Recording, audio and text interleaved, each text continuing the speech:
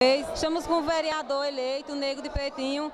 Nego, qual é a mensagem que você deixa para o povo fatimense, apesar dessa seca que está ocorrendo em nosso município? A mensagem que eu deixo para o povo fatimense, é, primeiro é de agradecimento, né? De agradecer pela confiança que ele teve na gente, pela votação expressiva que a gente teve.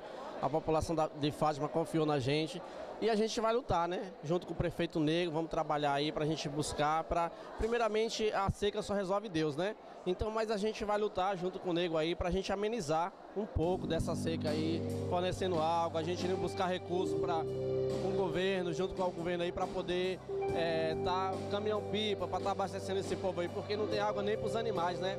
e o pessoal morrendo, sofrendo com ração e água, está difícil. E a mensagem que eu deixo é essa aí, que a gente vai lutar muito para poder ver se a gente suprir isso aí para a população facilmente.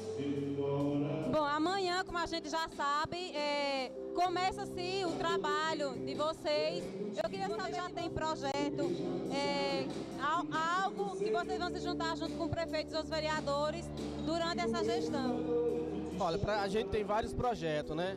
É, então a gente vai estar tá se reunindo aí com as comunidades, as comunidades que a gente representou, que teve uma votação né, nessas comunidades. Então a gente vai estar tá sentando com eles para a gente ver o que, que é a necessidade de cada comunidade, o que, que é a prioridade deles, para a gente estar tá sentando com o prefeito e definindo o que pode ser feito por esse povo.